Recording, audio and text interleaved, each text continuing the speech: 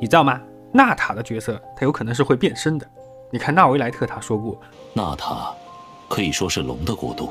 但又不是他的那种龙，那他是什么龙？是本地龙，是土生土长的古龙。在天理没有来之前，他的爷爷奶奶辈就出现了。而纳塔的龙是什么龙呢？是经过漫长演化而来的龙，这就对应了我们图鉴中从幼岩龙蜥到岩龙蜥，再到古岩龙蜥的这么一个进化过程。那么在普遍的理解中呢，我们认为龙是提瓦特元素生物进化的终极形态。这背后的理由呢，我推测是因为当初提瓦特是龙统治的世界嘛，所以龙这个形态代表了顶点。但是现在提瓦特的顶点是人，所以水龙王纳维莱特就是以人形态出现的。那么纳维莱特说的纳塔是龙和人共存的国度，我觉得其实就是人形态的龙和人共存，也就是龙人。那其实这种形态在提瓦特除了纳维莱特，还有一位就是曾经在《三界录响记》中出现过的女巫阿奇，她是海奇玉石，应该是一个混血。那么纳塔的龙人作为元素生物，他们就必然保留了一部分元素生物的特点，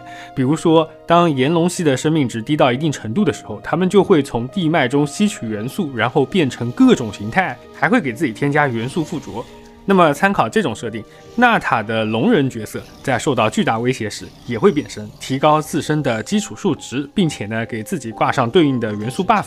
这样就解释了月卡武器聊聊棒为什么是依据自身附着的元素类型去提供 buff。毕竟现在能给自己挂元素的角色呢并不多，而且在战斗中如果被挂上元素，一般来说都是负面的效果。而如果纳塔角色这样设计，那么他们就变成了一种非常好战的风格，因为你看，我自己给自己挂元素，元魔也能给我挂元素，元魔打我就是打元素反应，我被打肯定很疼。但是如果元魔打不死我，我就变身，然后呢，战斗力猛增，就和元魔拼个你死我活，想想看是不是还挺刺激的？那就是真正的激情互秒嘛。那其实还有一点，就是我们观察游戏中的元魔会发现，他们聚族而居，这点丘丘人是最明显的，就是这边一堆，那边一堆。那么用这个也可以去解释纳塔为什么是以部落为形态的国度，而且还常年战斗啊，大概就是他们是以元素类型区分的，